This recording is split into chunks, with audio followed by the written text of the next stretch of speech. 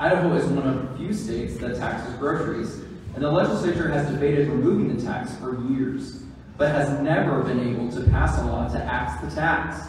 Do you support repealing the sales tax on groceries or not, and why? Thank you. Um, I think a lot of people in the audience know my answer on this, but I'll tell you this. I support repealing the tax on groceries.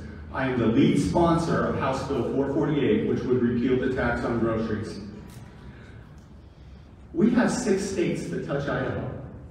Five of those states don't tax groceries at all. And we're talking Oregon and Washington, they don't tax groceries at all. Utah is the only surrounding state that taxes groceries, and they do it at a reduced rate. But for some reason, Idaho, supposedly conservative Idaho, taxes groceries fully. In fact, we're in the top five in terms of states in our taxes on groceries. We had a nearly $2 billion budget going into the last legislative session. Repealing the tax on groceries would have been $330 million of savings to Idaho families.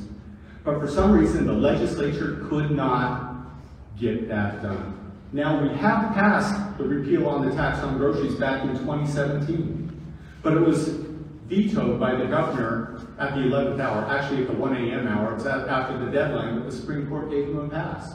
I know there is will in the legislature to pass this. What's getting in the way are a few legislative leaders who don't want to give conservatives wins in an election year, and they actually said that. But I have a plan for getting the grocery tax repealed in Idaho in the next legislative session.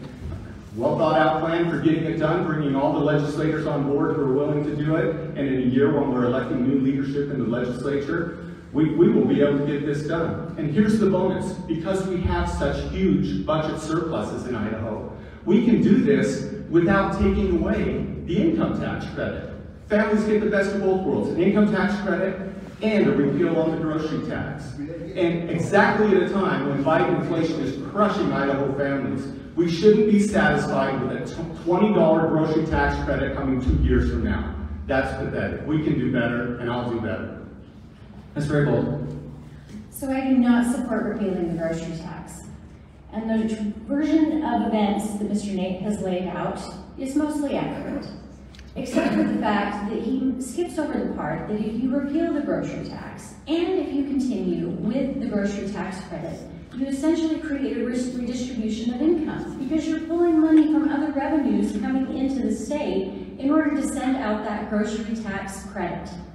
Right now, the sales tax that's paid for on groceries comes in, and for every Idahoan who files a tax return in the state of Idaho, they receive that grocery tax credit.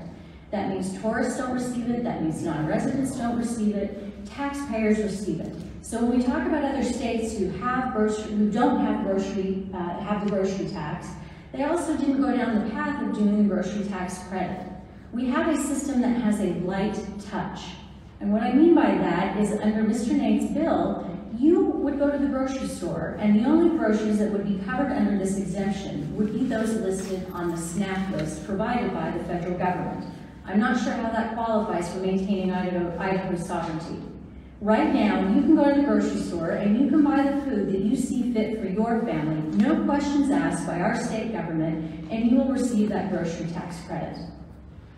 When we talk about this as a, as a zero-sum effort, that somehow just removing the grocery tax ultimately doesn't have to be answered for in other ways, along with keeping uh, the, the tax credit going back to Idahoans, that's the part that gets glossed over, is that you're going to be taking tax dollars from somewhere else and disturbing a system that has worked really well and actually exhibits a light touch from government.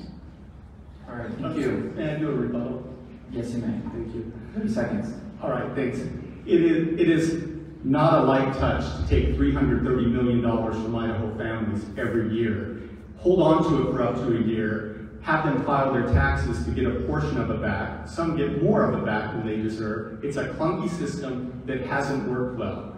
And as far as tourists go, I would rather tourists have more money to spend on Idaho businesses, Idaho hotels, Idaho outfitters, than to have to send their money into Idaho government. I think that they are better stewards of it, and our businesses would be happier with it too.